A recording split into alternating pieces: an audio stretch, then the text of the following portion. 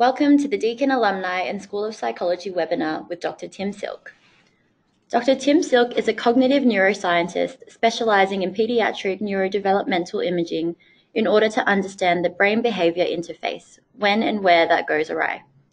Specifically, he's focused on identifying neuroimaging markers that can be used to distinguish children with neurode- neurodevelopmental disorders, monitor progression, and predict li- likely outcome or treatment response.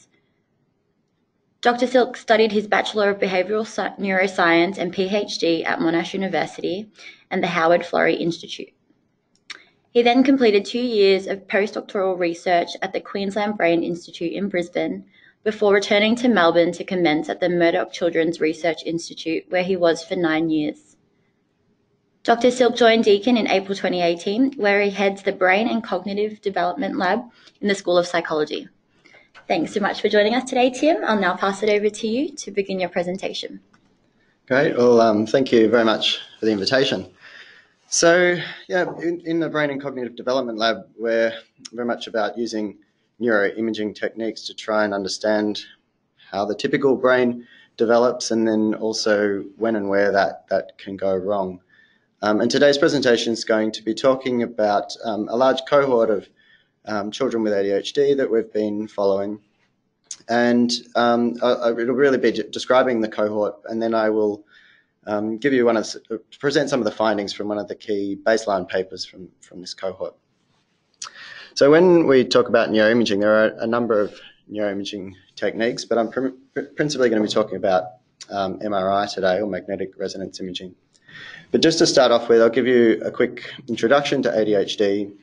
I mean, everyone has sort of a kind of a, an idea in their mind um, what ADHD is, but sometimes that can be a little bit misrepresented. So I want to try and make that quite clear.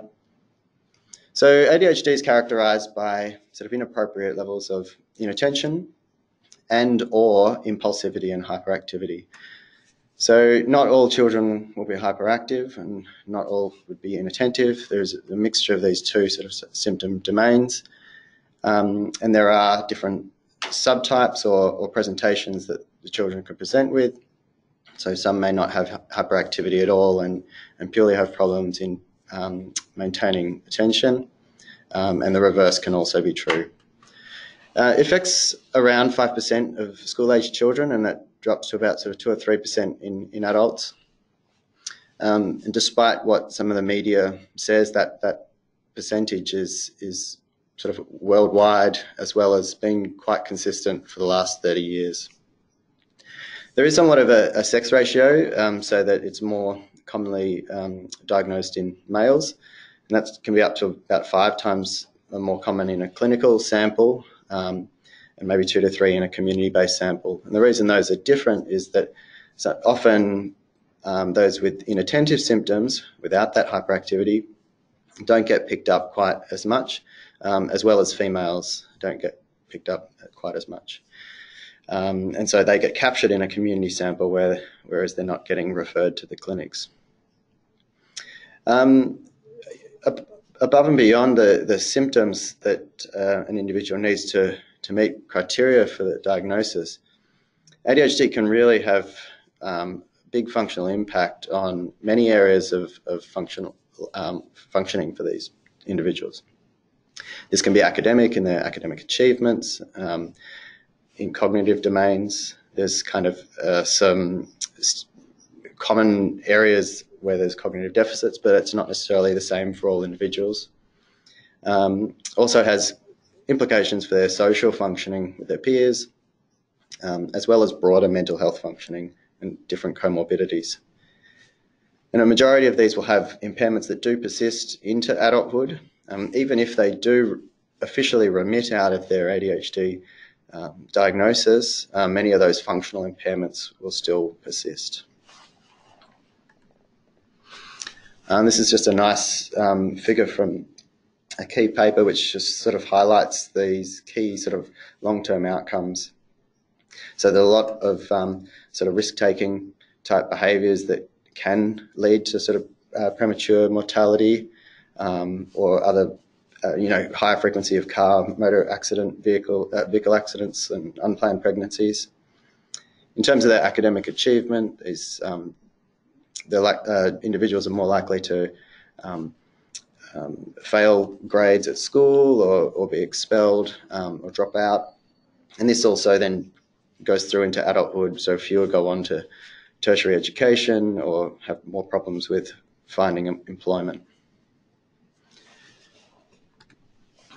Um, in terms of the biological basis for ADHD, um, there are a number of um, studies that have found sort of clear environmental effects, and this just, just table just just highlights a, a, a, review of some of the studies that have found some association. But there is um, some clear, robust evidence that of genetic susceptibility to ADHD. Um, this is through a range of sort of family studies looking at um, um, the genetics of parents as well, um, sibling studies where there's a higher rate of um, ADHD among siblings, as well as within twin studies, so a higher rate within monozygotic or identical twins. Um, and this overall heritability is really quite high. It's up around um, 7 and 7, uh, 0.75, which if you consider um, something like height is around 0.9.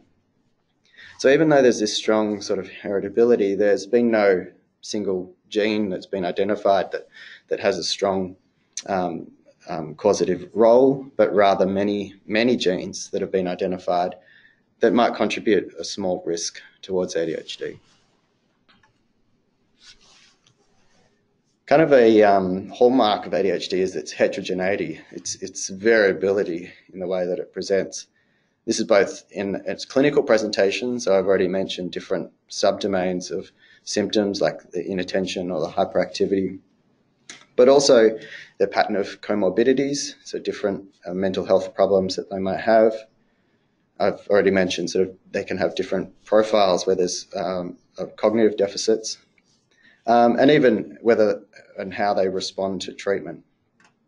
Now, this is not unique um, necessarily to ADHD, but across many behaviorally defined psychiatric disorders, there has been this sort of shift to, in, at least in the research um, realm, to sort of shift away from looking at these two supposedly homogenous groups, a clinical and a healthy control, to rather looking at how some of these traits might vary across the population.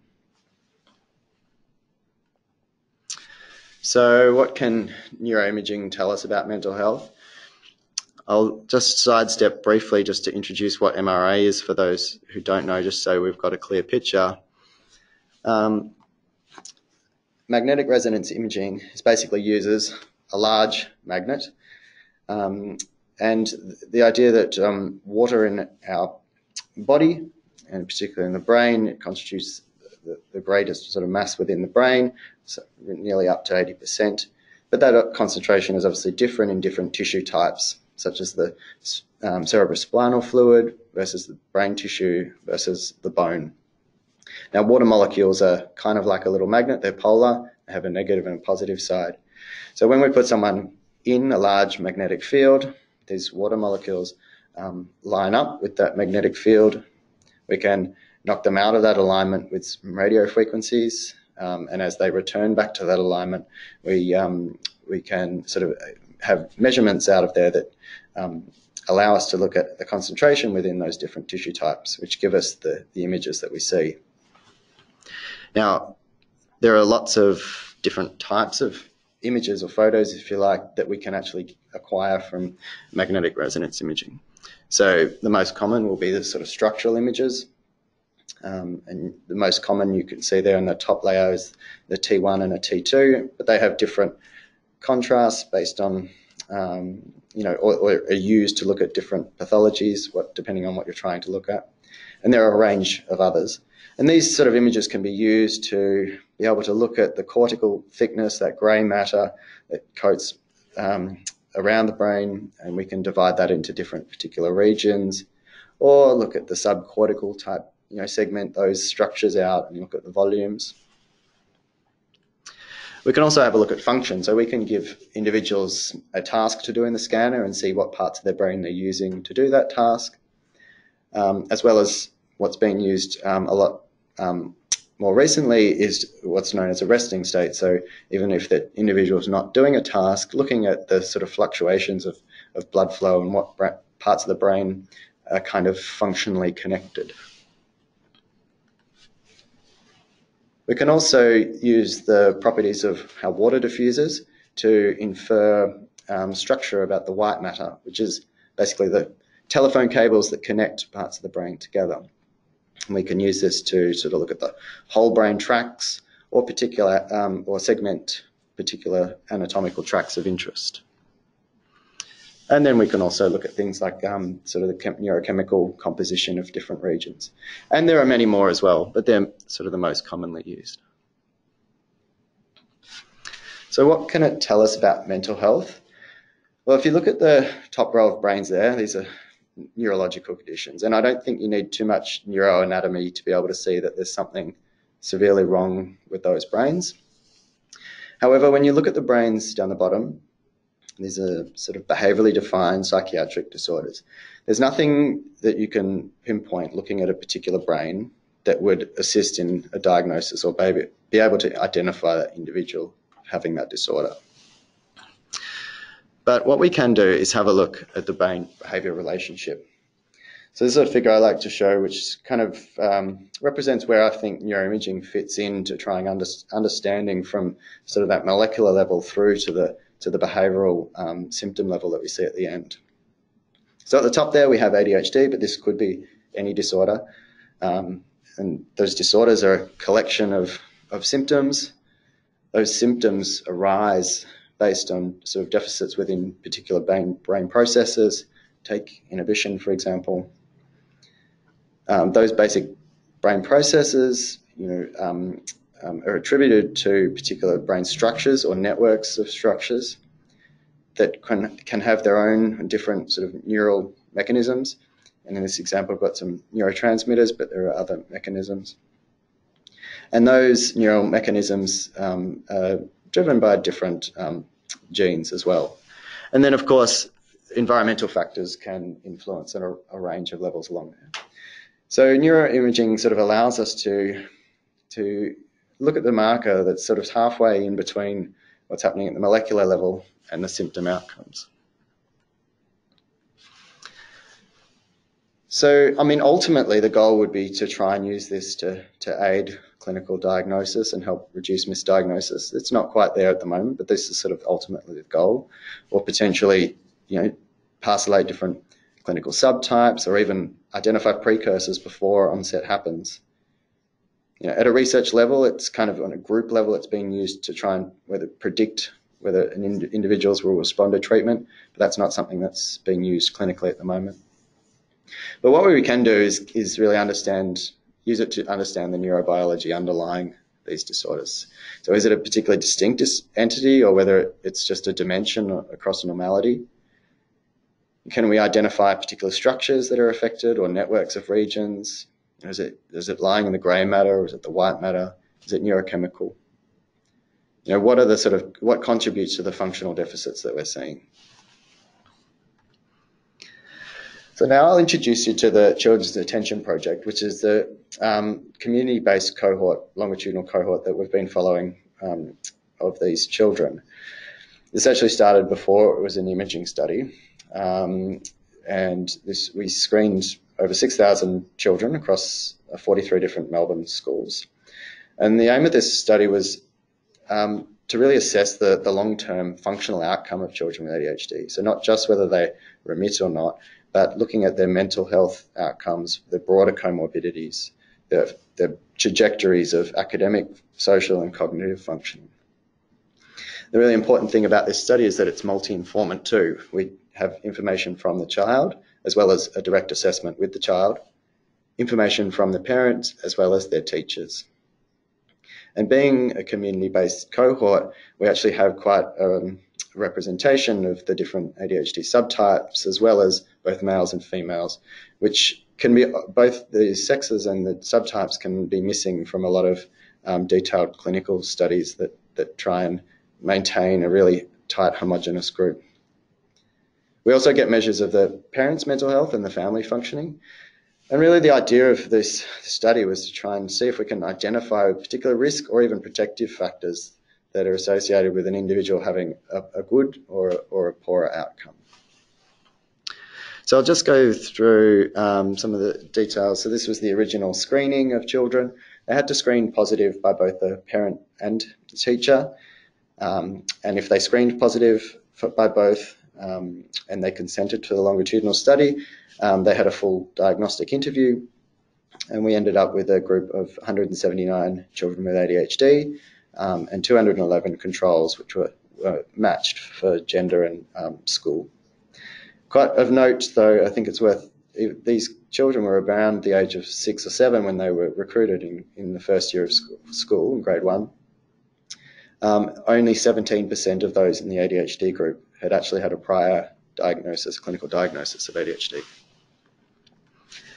Um, and then along the way, aligning with the third wave of data collection, we, we got another NHMRC grant to um, um, do MRIs on a subset of these children. And so that we've now collected three additional waves of data collection where we're scanning these children in each wave. Um, these waves are 18 months apart.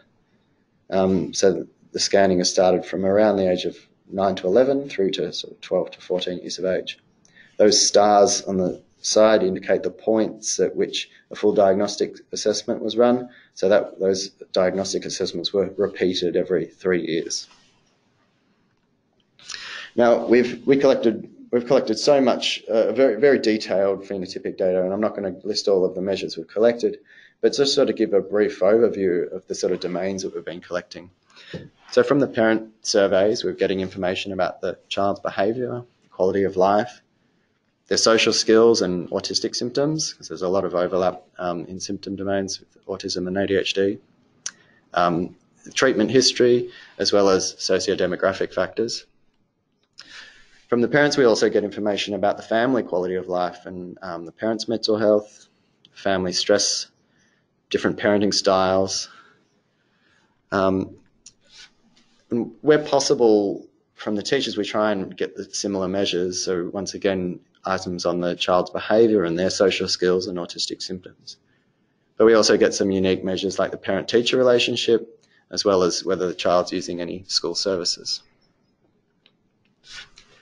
Then with the child, we get measures of their visuoperceptual and motor coordination, verbal and non-verbal cognitive functioning, working memory, language, academic functioning, as well as response inhibition and attention. And we also get some physical assessments like height and weight, um, and in the the later stages, um, assessment of puberty. And we can also we've also got some data linkage to NAPLAN results, which is the um, standardized academic testing. So onto the neuroimaging of the Children's Attention Project, or NICAP. Following this really nicely phenotyped cohort, um, we've started collecting multimodal imaging, so different types of sequences of MRI on a subset of these children, 180, um, at three time points with 18 month intervals. So children would come into uh, the Royal Children's Hospital for roughly a three and a half hour assessment where we did a cognitive assessment, those self reports from the child. Um, parent was there doing questionnaires, teachers were sent their questionnaires. Um, children were trained or have a practice in a mock scan, which I'll talk about later, and then had an MRI scan where they're in the scanner for roughly 45 minutes. uh, the aim of this main study was to look at the trajectories of, of how that brain structure and function change across late childhood into adolescence. But more importantly, I think the same too is how these different trajectories in their brain reflect different outcomes, not just the persistence or remission of ADHD, but the difference in functional outcomes across those academic, social, and cognitive domains. Um, this image just highlights some of the, the key multimodal images that we're acquiring. So we're getting different images that look at structure, A and B there, a T1 and a T2. Um, C there is a QSM, um, which quantitative susceptibility mapping, and this is quite um, a, a, novel imaging sequence which looks at iron content within the brain. The reason we're using looking at this is that iron is high, highly concentrated within some of the basal ganglia structures deep within the brain that are really key for uh, cognitive and, and, motor function. Um, and uh, iron is also related to or in quite involved with um, dopamine system. Um, dopamine being sort of a driving hypothesis um, in, in, ADHD um, and the main neurotransmitter system that um, medication impacts. Um, then we also have a range of diffusion values which look at that white matter tracks and they're optimized for different uh, measures we're trying to, to pull out. And then we also have a, a, resting state function, so looking at when the brain is at rest, what, what parts of the brain are, are communicating together. This figure just shows you the overall. We've just finished uh, earlier this year our final wave of data collection. So in total, we have 471 scans, which is for an imaging study. This is really quite a large cohort. This figure shows along the, the y-axis um, each individual participant, um, with each dot indicating um, the scan, um, with a, connected by a line for each individual. So you can see there is some um, dropout as we go along in time, but um, really quite a comprehensive longitudinal cohort. So as this is only just completed the longitudinal analysis, I'm not going to be really talking about any of those analyses yet. It's, they're still in the pipeworks. Um, but I will present to you some of um, one of the key papers that's come out from that baseline data, the first time point. But just before I do, um, I'll just highlight some of the issues and challenges working, trying to scan not just ADHD children, but children in general. Um, you know, the MRI is quite a medically intimidating environment for children, and um, it's you know to it's quite a challenge to get the sort of behavioural um, cooperation. You know, we don't want the child feeling anxious. We don't want it affecting um, them we also um, also don't want that that anxiety to mean that they give up and don't go in for the scan, and that ends up wasting a lot of research funding as well as the time of, of the staff and the participants. But also motion is a really, really important point, and I'll talk again on the next slide about this. Um, and so we need the children to keep as still as possible in the scanner. Children in general move more than adults, but obviously children with ADHD um, stereotypically move a lot. So this is a challenging population to work with in the scanner. And so having good preparation is really key for good quality scans. And we, we try and start this right from the recruitment. You can see up there in the top right hand corner, this was our participant information and consent book.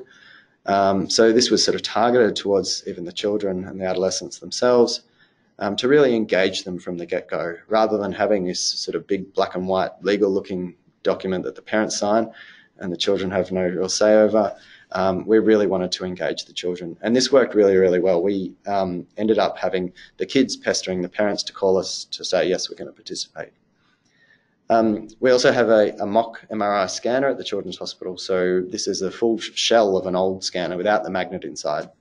And this allows us to have a little session before the scan with the child, get them used to and familiar with that um, scanner environment, be able to play the noises, you know, there's a lot of loud noises that they hear so they can get familiar with it and get comfortable and reiterate the importance of keeping still. And so from um, the 180 we scanned at baseline, um, only six then failed to, to go through to the main scan from this sort of preparation, which I think is a really good outcome. And then also we give the children a sort of certificate at the end with a picture of their own brain. Um, just to highlight this issue of data quality, um, the top row there is good quality data. We've got a structural image on the, the left side um, and a functional image on the right. And I'll just play the functional image for you. You can see very little movement. You see a little bit of pulsing as blood gets pumped up through the middle of the brain, but very still brain. The brain on the bottom here has moved a lot during the structural scan. You can see it's very blurry, just the same as if someone was running through a photograph. Um, and this makes it very difficult to sort of be able to identify the boundaries between different structures. Um, and if I show you um, the functional scan, you can see that bouncing around looks more like they're headbanging at a concert than, than lying still. Um, and this sort of data, data really becomes unusable. And once again, that, that wastes dollars and time. Um, but what's becoming more um, uh, noticed these days is that even in good usable quality data, motion is still having a big impact on some of the metrics that we get out. So it can affect the cortical thickness measures or the long range sort of functional connectivity measures. Um, and where this becomes really problematic is when you've got, you're comparing two groups and there is more motion in one group than the other, because that can then artificially give um, differences in the brain metrics. Um, what's this is just a slide from some work that one of my PhD students was looking at, where she's been looking at the head motion in the MRI scanner. Um, and obviously children with ADHD have greater head motion, um, but they also have poorer sustained attention. When we look at just the dimensionally, those children with poor sustained attention also have higher head motion. So what this is sort of showing is that rather than just being sort of an artifact of, of ADHD, having head motion as an artifact, it's really interwound within the phenotype and the presentation of ADHD. So simply getting rid of data with lots of motion might not necessarily be the right answer, or regressing out um, the influence of motion might be actually regressing out the, the type of interest. So there's a particular challenge across the field at the moment. Other issues when looking at children and adolescents, obviously, braces. I mean, children with braces can go into the scanner, doesn't cause them any harm, but it causes big distortions to the magnetic field. So this these MRI images down the bottom, that individual doesn't have a gaping hole in the front of their head. Um, that's a distortion due uh, to the magnetic field based off the braces. And this significantly impairs functional images much worse than structural images. All right, so that was just some of the few challenges of working with children. But what I'm going to talk to you now is um, a paper that came out earlier this year, um, which was the first key baseline paper from our data, trying to overcome some of the, these limitations. so when we look at um, some of the existing MRI data in, in ADHD, there's once again, like their clinical phenotype, there's a lot of heterogeneity in the findings about what brain regions are involved. A lot of the early studies, um, you know, based on a priori theories, really just focused on um, deep brain striatal basal ganglia structures, volumes, as well as the prefrontal cortex, like those in the, the bottom right-hand corner. Um, but as imaging um, techniques and technology has advanced and the resolution has got better, we've been able to look at focusing on the, whether the cortical thickness and the surface area, as well as some of the white matter um, microstructure. Um, and then in the bottom left-hand corner there, that's really the only other longitudinal cohort in ADHD. And this is almost 10 years ago now, um, but has sort of suggested there might be this delay in maturation where by late adolescence, um, ADHD brains catch up with individual uh, typical controls. But there's been a sort of a lot of inconsistencies. Um, for example, in the top right-hand corner there, this is actually a large, uh, what they call mega analysis. So multiple sites from around the world, this consortium have all come together. They use the same processing pipeline to pull out the same bits of data, and then they pull them together. And, you know, this is just one brain region, and it does show that the caudates are overall smaller in children with ADHD, but you can see a lot of variability between sites there, and, and even as four or five sites that show greater volume um, in ADHD. So, and so most of the recent meta-analysis, whether it's in structural, diffusion, or resting state data, are really finding very little, if, if any, consistency in, in brain regions across ADHD. This is a real problem. The one thing about most of that data, though, is they typically will be looking at one aspect of the brain. They will look at the volume or the thickness or the surface area or white matter properties. But this, you know, we know that these structures don't operate in isolation, and particularly when we're looking over development, they don't develop in isolation. This this figure just shows you just some, sort of the different trajectories as the brain develops in, in different brain regions, and how there's different tempos and timings of that um, development in whether it's cortical thickness or the white matter volume or the different microstructural properties of white matter. So there's been some advances in statistical analysis that now allow us to be able to model sort of patterns of covariation across imaging modalities. So just to introduce the sort of concept of what we're trying to do here, the technique we use is called a linked independent component analysis, which stems from, from just independent component analysis, which has been used for a long time and not just in imaging. This comes from any sort of um, signal detection.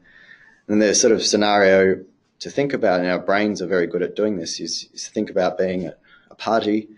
You've got this single sound source coming into your ears, but your brain can take spatial and temporal components of that to pull out different components so that you can dissociate different people speaking or the band playing, the trumpeter. So your brain's very good at doing this, and it's been now applied to neuroimaging techniques for, for quite a long time to, to try and identify, say, artifacts within the data, or more recently for that resting state. So to be able to identify parts of the brain that have a similar time course um, across the sequence, so that even though an individual's at rest, we can still pull out a motor network or a visual network or an attention network. So linked ICA is just taking that a step further to look at not just what areas that co-vary within an imaging modality, but also what varies across different imaging modalities. Um, so that's what we did with our data. We took all our um, brain volume data, cortical thickness, surface area, as well as two white matter microstructural measures, which is fractional anisotropy, or FA, and mean diffusivity, or MD. And we put, extracted 25 spatially independent components or brain patterns that varied um, or co-varied together. And you can see those 25 components in the bottom right-hand corner, how they were made up. Some of them were heavily driven by one particular um, metric, say, for example, surface area, but others are a fairly mixed um, contribution from different imaging modalities. So these are done in a completely data-driven way. Then on the phenotypic side, we took a heap of um, different phenotypic variables, loosely categorized into individual factors such as the subject's age, weight, puberty stage. Clinical factors, so I've mentioned this, you know, moving away from a categorical ADHD or not to looking at dimensions. So we've taken their symptom dimensions as well as whether they've got um, comorbidities. We took a, a bunch of um, cognitive factors like their IQ, their academic functioning, working memory, sustained attention. We have some retrospective perinatal factors such as their birth weight and whether they spent time in a neonatal intensive care unit or whether their, parent, their mothers smoked or drank alcohol during pregnancy. And then a range of family factors as well, such as parent education, parenting styles, family quality of life, stressful life events. So what we wanted to do is, is to try and account for a lot of this heterogeneity we're finding, both in the imaging literature as well as um, across the heterogeneity that's seen within the populations we took these whole lot of phenotypic factors that vary. We took these brain factors, uh, brain patterns in a data-driven way, and we looked at multivariate association. So can we reveal associations between the subject's phenotype and their brain patterns? This was done using a canonical correlation analysis, and it pulled out four significant independent relationships, and I'll step through those over the next few slides. So the first one, I'll, I'll firstly just orientate you to the figure because this is the format that the, presented in the next few slides. You've got um, five rows there. That's the, the brain volume at the top, followed by the diffusion factors, FA and MD, cortical thickness, and then cortical area. Warmer colours are increases and cooler colours are decreases.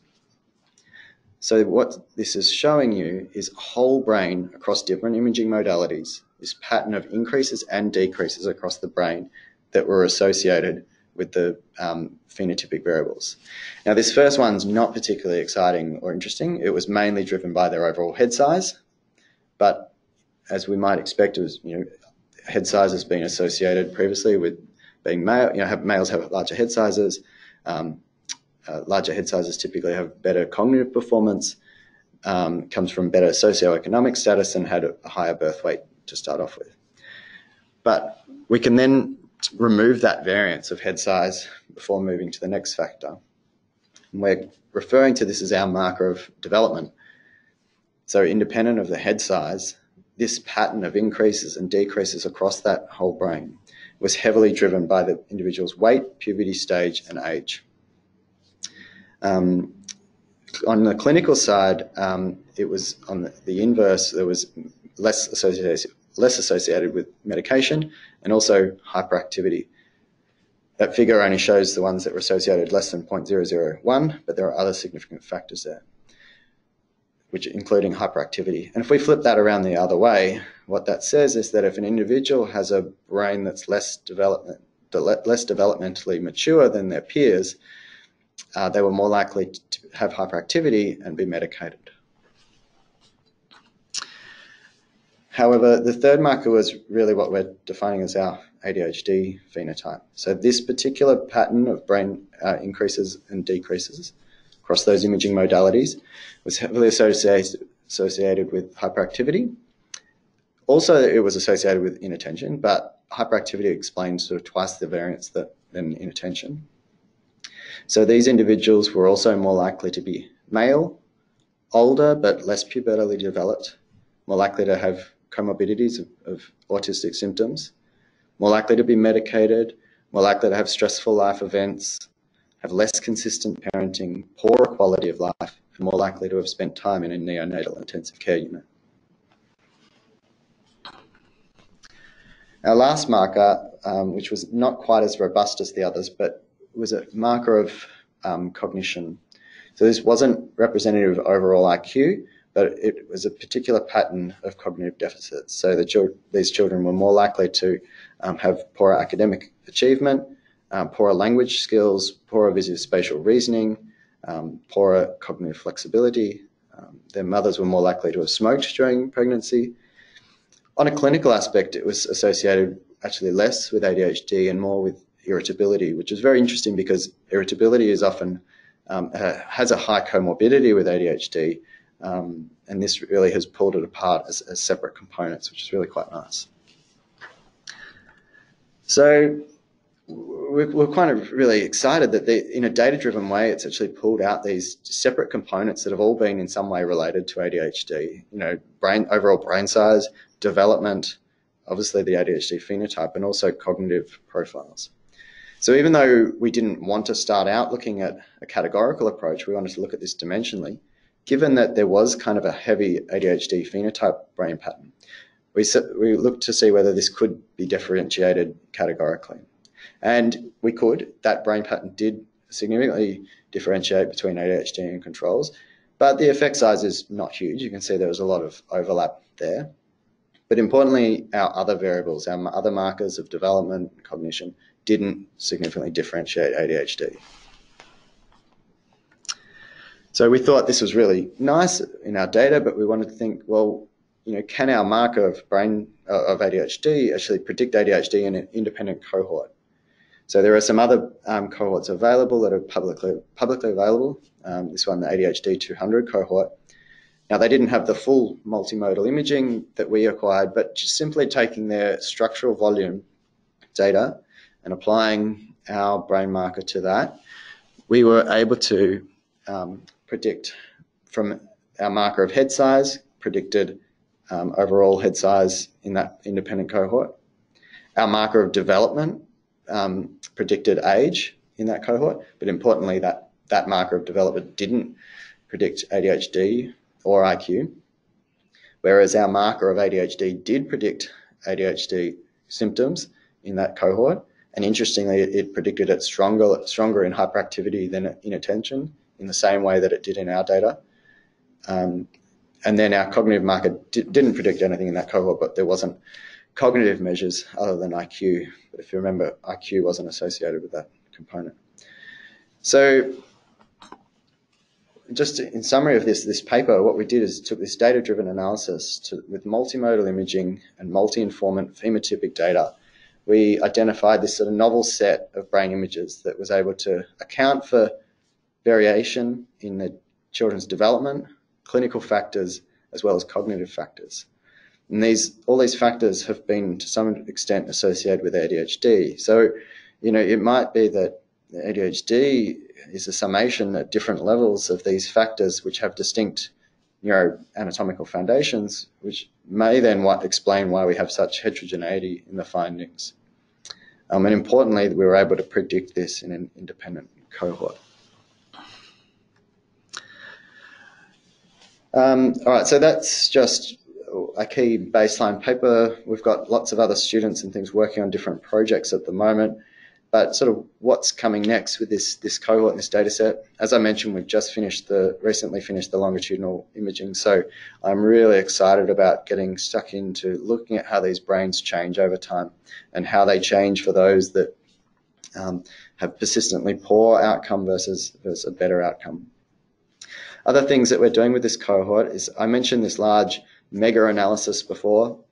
This is a, an international consortium known as Enigma, and have a range of different working groups. So we've been contributing some of our data towards this consortium for the ADHD working group.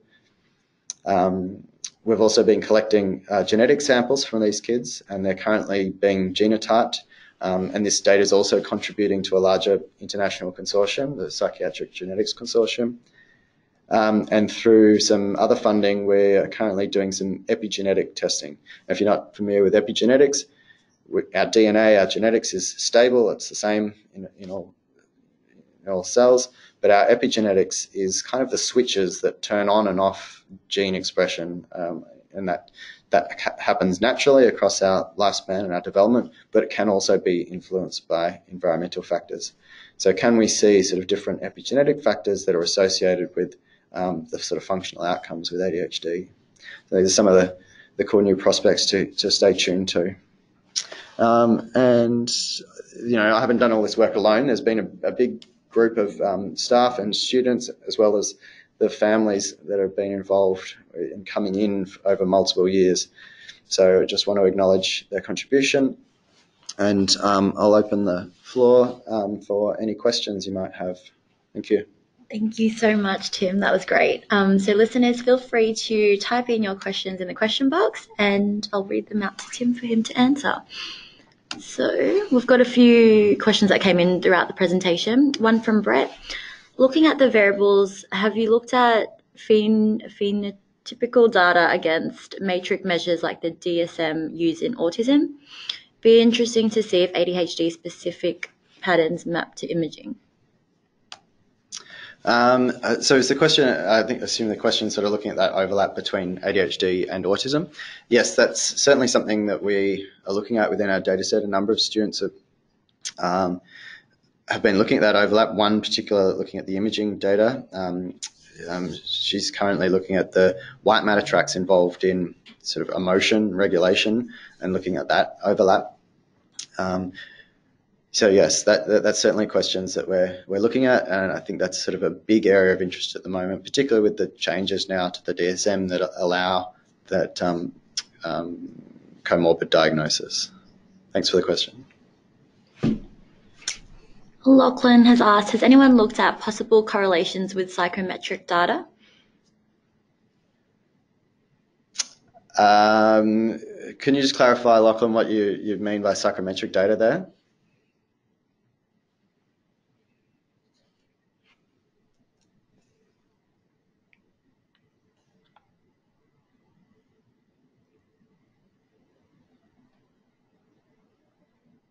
Oh, personality. Um,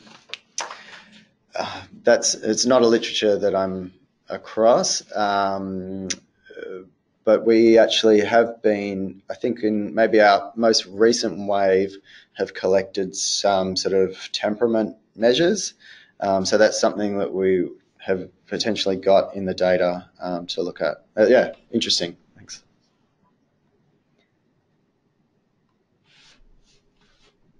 Um, Tim, perhaps you can tell our listeners more about how they can find out more information on your research. Yeah, um, certainly. So um, we we have a Children's Attention Project um, um, uh, website that's operated actually through the, the, Murdoch Children's Research Institute.